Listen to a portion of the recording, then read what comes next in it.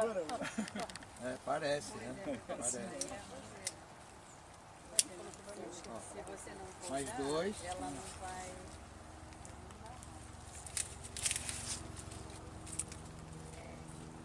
Eu nunca vi aqui, em 39 anos, da outra carga de laranjeira como está carregada de flor, depois de uma colheita, é o calor.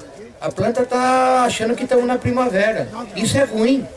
Não podia vir uma outra carga agora, em seguida do que nós colhemos agora, julho para agosto. Aliás, Eu estava julho conversando até com a doutora Tá Silvana errado sobre isso. Não, não é normal, isso é péssimo.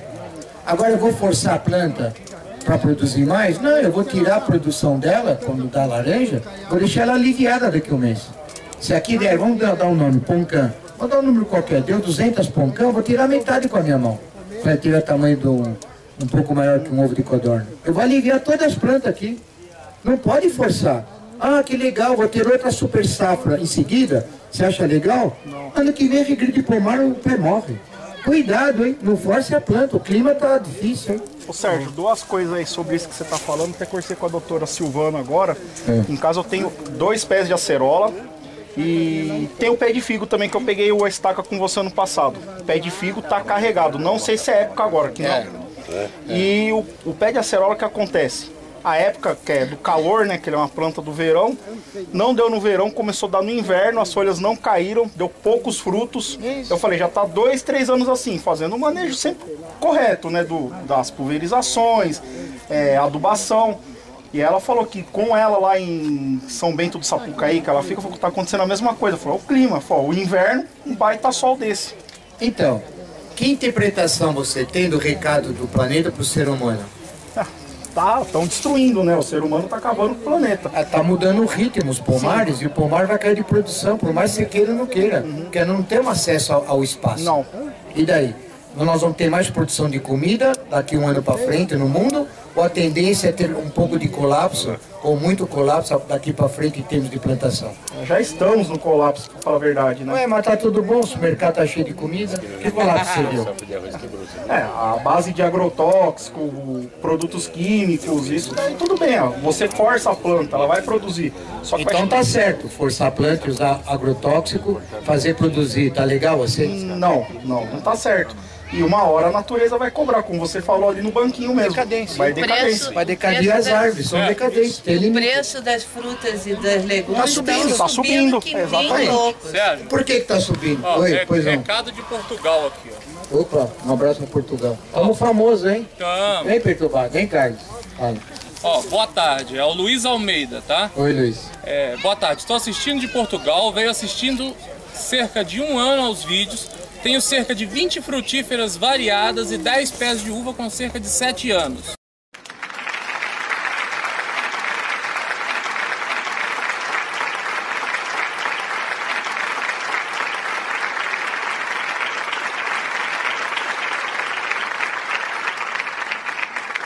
Durante seis anos foi um desastre. Todos falavam para cortar e plantar de novo. Todos gozavam comigo, mas felizmente este ano segui as indicações do Sérgio e não é que tive uma carga de frutas, principalmente de cítricos. Coisa doida, uvas tem algumas, mas será a primeira vez que vou colher. Até minha esposa está viciada quando só dizia para abandonar. Obrigado por tudo. Com carinho, Luiz Oliveira. Tá Então, veja, é normal, a gente recebeu um recado de Portugal, nós não conhecemos ele, ele vê nossas matérias, e a gente fica sem entender. Portugal é outro clima, é clima temperado, aqui nós estamos num país tropical. Mas por que, que ele começou a ter um pouco de fruta? Parou de agredir, ele parou de ser enganado, porque ele viu nossa matéria. A gente fala isso com muita tranquilidade. Você está começando a produzir porque ele está dentro do ritmo sem agressão. Aí, Portugal, não é Brasil. Precisa provar mais alguma coisa? Será que nós estamos enganando lá Portugal também? Não. Não, é o contrário, ele está falando o contrário, ele está agradecendo que ele está começando a ter fruta e etc, etc. Que nem ele, todo mundo no Brasil e no mundo. Está mudando as coisas, o ser humano acordou. Alguma coisa, já falei isso, alguma coisa ocorreu dois anos para cá no mundo, alguma coisa, não sei identificar o que é.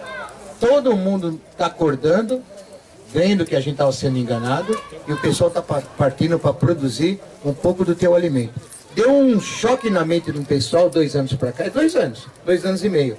Algo aconteceu de bom que o pessoal está acordando e estão caindo para cima para fazer o teu alimento. O recado não está dado?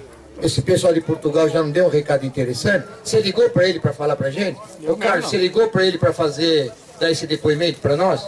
Você mandou algum para ele, alguma bufunfa? É espontâneo. É espontâneo. Foi o Virgílio que ligou. Pera aí. Ah, o Virgílio, esqueci. É, foi você, né? Você é português também? Também sou, é né? teu primo, ele. Meu primo. Ah, tá, tá, tá. Fala. Aqui na, na Laranjeira é o mesmo produto de lá? Tudo igual, tudo igual. A chácara toda eu ponho na época de fruta. É, é, é, é, só não tem agora porque não tem fruta. Mas quando começa, é, é 20, 30 garrafas no entorno da chácara toda. Permanente a isca para pegar a mosca amarela. Então, vamos subir? Vamos, 30 centímetros de chão, amarrado assim nas plantas baixas, e ligavam para mim dizendo que não tinha sucesso, que a mosquinha não entrava aqui, que não adiantava, não adiantava. Eu falei, não, tem alguma coisa errada, é o básico, uma garrafinha PET, três furinhos pequenos, água, açúcar e laranjas com casca picada.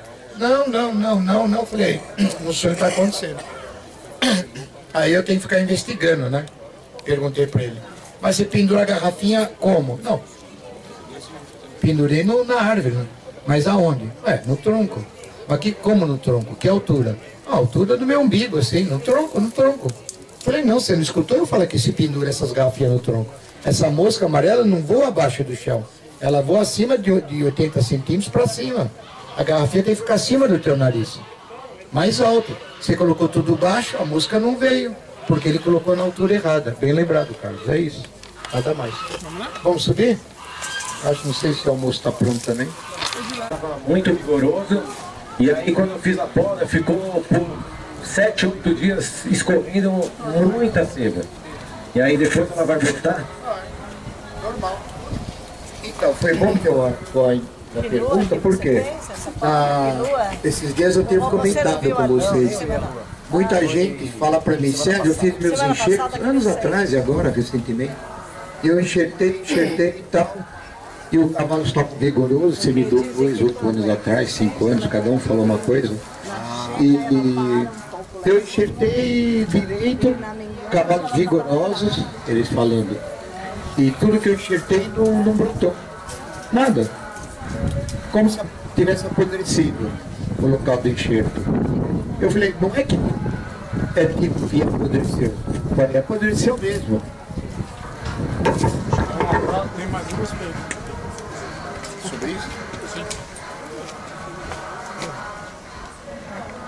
Esporte técnico aí, calma, você não filmar isso. É a Globo, é a Globo. Aqui é ao vivo, gente. Ninguém corta nada. Por isso que funciona, nada aqui é combinado. Quem sabe Então. faz ao vivo. Por que, que eu, foi bom que você perguntou? Saiu muito, muito muita seiva do cavalo barra 6 e tal. Então, vou voltar a falar. Tem um livro aí de 1942, de videira, do Ministério da Agricultura, na época. Tá comigo aí. E lá atrás já falavam, não enxerte no mesmo momento o cavalo que você acabou de cortar, enxerte imediatamente.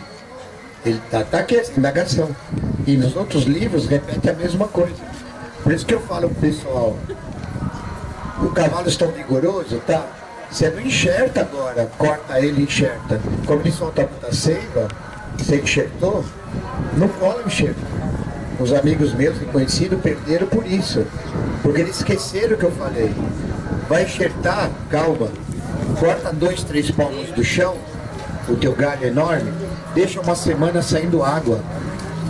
Na outra semana você faz o corte novamente e faça o enxerto que você quer. Não se enxerta, enxerta imediatamente uma videira a cavalo e se coloca a cunha nela. Você vai ter problema.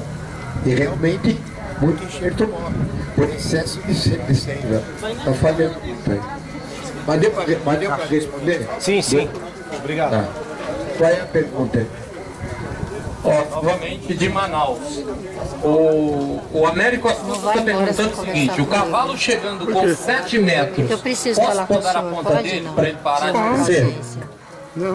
Primeiro que ele não pode deixar uma planta nova com 7 metros de comprimento no primeiro ano e ele não vai podar ela. É cavalo e daí? Recua a planta. Pode recuar. Eu vou completar, mas primeiro eu queria fazer um, um- um comentário interessante. algo de bom vem acontecendo com o povo de Manaus. Isso eu falei ontem também na gravação. Outra vez Manaus nos perguntando, lá não tem fruta, não tem nada, etc. E Manaus está tá acordando com fruta e legume, então ficando um pouco independente. Estão acordando, viu? Porque Manaus quase não tem alimento nenhum. Vem tudo por avião ou por barco. Porque tem uma lenda lá em Manaus, dizem quem planta, quem quiser plantar em Manaus fruta ou legume ou verdura, não nasce alface. E contaram isso. Falei, mas como fala? Como assim? Não estou entendendo. Não, falo que se plantar aqui na região não, não dá verdura. Eu falei, mas vocês têm árvore de 50 metros de altura. Mas como em Manaus não dá verdura? Que conversa? É para o povo ficar dependente lá de alguém, em termos de legumes. Isso não existe. Eu escuto coisas, me contam. Eu levo um susto. Eu sou obrigado a passar essa, essa pergunta para Se frente. não nasce alface, não era pra ter aquelas E árvores. como tem árvore de serpentenas. 50 metros de, de altura? Como? Não tem clima para verdura? Mas que conversa é essa? Você não, eles lá não vão plantar verdura, aí tem, vou completar. Tem épocas de chuva lá, dois, três meses de chuva. É lógico que ele não vai plantar alface na poça d'água. Ele vai ter uma horta suspensa. Olha a dica aí, pessoal. Tá chovendo, e daí que tá chovendo? Põe uma cobertura de, de telha fosca, um plástico bem feito na tua casa. Faz uma horta suspensa do chão, em calhas de telha ou em baldes. Garrafa pet. Garrafa pet. Pneu. Você vai ter tua verdura na chuva. Se a chuva não tá pegando tua verdura, não vai apodrecer. E que medo vocês têm aí? Parece que o medo lá foi cortado, eles estão acordando. Mesma coisa o povo do Pará e Maranhão. O que eu tenho recebido de telefonema de agradecimento, gente que começou seis meses para cá, Pedro Paulo é uma coisa maluca. Nós estamos fa- falando coisa aqui que está dando repercussão em locais que o pessoal não estava entendendo nada. Eles tinham medo. É uma norma para fazer o povo não, não entender. Ficar dependente do, de uma certa comida no Nordeste brasileiro. Que é isso, com tanta água, tanto solo? Que conversa é essa? E o pessoal está acordando, eu acho que o nosso grupo está ajudando para isso. Então, Manaus, acho que eu respondi. Não é porque teu porta-enxerto está cumprido agora, eu vou deixar com 7 metros. Não. Você encurta bem ela. Você quer deixar ela grande? Tá, tá com 7 metros? Ótimo. Mas o primeiro ano recua ele, deixa com 2 metros de altura.